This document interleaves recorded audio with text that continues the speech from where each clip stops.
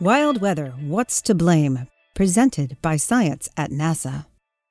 Record snowfall, killer tornadoes, devastating floods, there's no doubt about it. Since December 2010, the weather in the USA has been positively wild. But why? Some recent news reports have attributed the phenomenon to an extreme La Nina, a band of cold water stretching across the Pacific Ocean with global repercussions for climate and weather. But NASA climatologist Bill Patzert names a different suspect La Nada.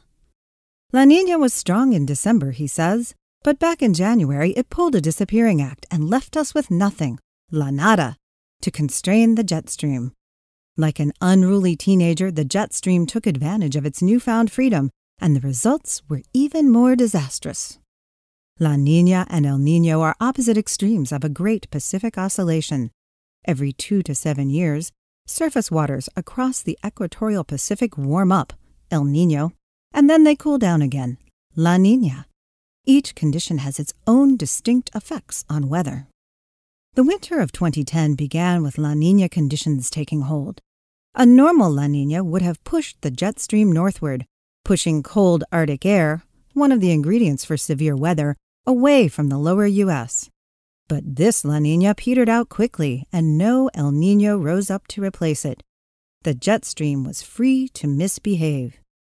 By mid February 2011, the jet stream was meandering wildly around the U.S.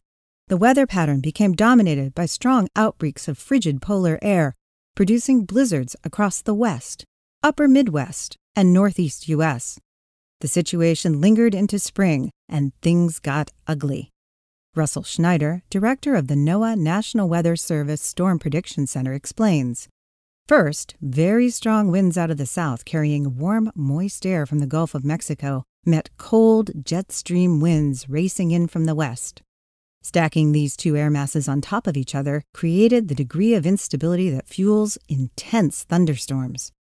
Extreme contrasts in wind speeds and directions of the upper and lower atmosphere transformed ordinary thunderstorms into long lived, rotating supercells capable of producing violent tornadoes. In Patzert's words, the jet stream on steroids acted as an atmospheric mixmaster causing tornadoes to explode across the Deep South and Tornado Alley, and even into Massachusetts. The action's not over. This is weather, after all. What will happen next? Please don't say la nada.